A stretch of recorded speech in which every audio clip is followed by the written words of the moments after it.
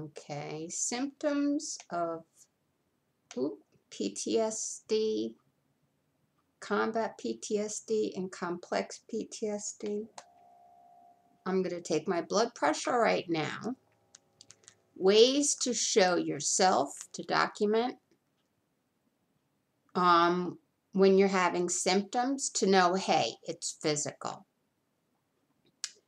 Um, write a chart for pulse,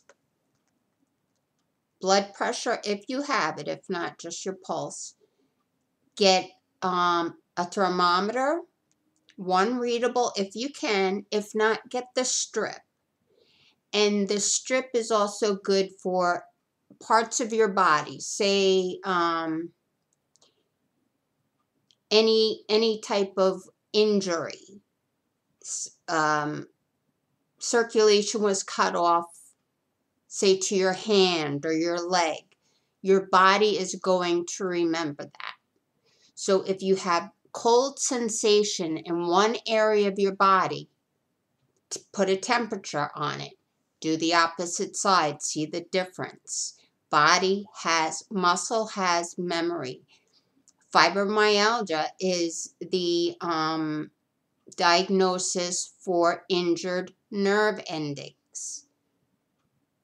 And a lot of trauma we endure will come out to be fibromyalgia, which the um, normal medication for that is Lyrica, which I like it. So, okay, I just took my BP and I'm 99 over 60 and 87 pulse rate. Now, I'm going to talk about something let me get into, usually if I talk about fighting, who did I fight? Oh, okay, I'm going to think of a couple of times I had to defend myself and I got in there and these people were coming after me and this is when I was big and I fought back. I kicked the shit out of them. I got down on the ground. I mean, here's hand-to-hand combat veterans from Vietnam. I put down because I dated them. They thought they could get over on me. And I just went to town, and I went to town, and I went to town, and I'm just trying to keep this going so I can get a different reading for, okay. So now you see it went up. 111 over 74 with 94.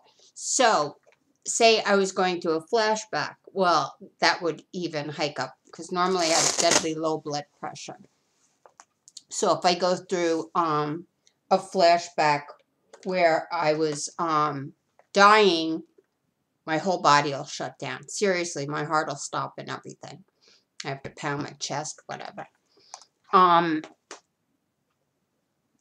if it's one where you're startled into shock, be it an explosive, something sexual, something not very good going on, the pulse rate and adrenaline is going to go sky high. So these are ways we can rate. If somebody was on top of you, say, and cutting off circulation, ligatured you somehow and cut off circulation, um, injury, the, the circulation was cut off, flashbacks go through your body. So it's a, also a way to say, okay, this is not happening to me now as a medical ailment. It's a reoccurring physical flashback that's going on. So it's a way to help you know, okay, always get checked. Always go to an ER or a doctor if symptoms are coming up. But no, it can be because even when I worked in the doctor's office, I would go through something and he was a Vietnam vet and I said, could this possibly be a symptom? But it feels like I have bronchitis and I just a whole bunch of stuff. And there was no bronchitis. It was a symptom. Felt real as could be. My my um, throat was swollen, but not red. So everything was aligned, but without without the um, the infections. So these are ways to, and also ways to say, look, you think I'm not going through anything right now, look at my blood pressure. And then when you feel better later on, take it again and go, see, look, my body's not lying. If you're not getting somebody um, believing you, and if they don't believe after that, stop. It's you're you're knocking at a door that's not going to open, and you don't need it open. You're the only one who needs to know. These are your detective tools for yourself. If somebody loves you enough to care enough, then then when you're not feeling good, they'll take it upon themselves to go get a thermometer, to go get the blood pressure uh, machine, to say, "Hun, you're not even aware, but you're going through symptoms."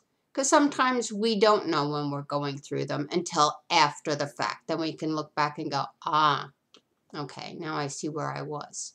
So I hope that helps, and um, just tools of the trade, one at a time.